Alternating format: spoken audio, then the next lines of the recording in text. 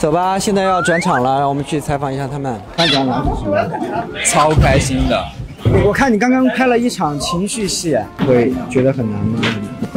其实有一点难，因为起太早，有点困。看到没？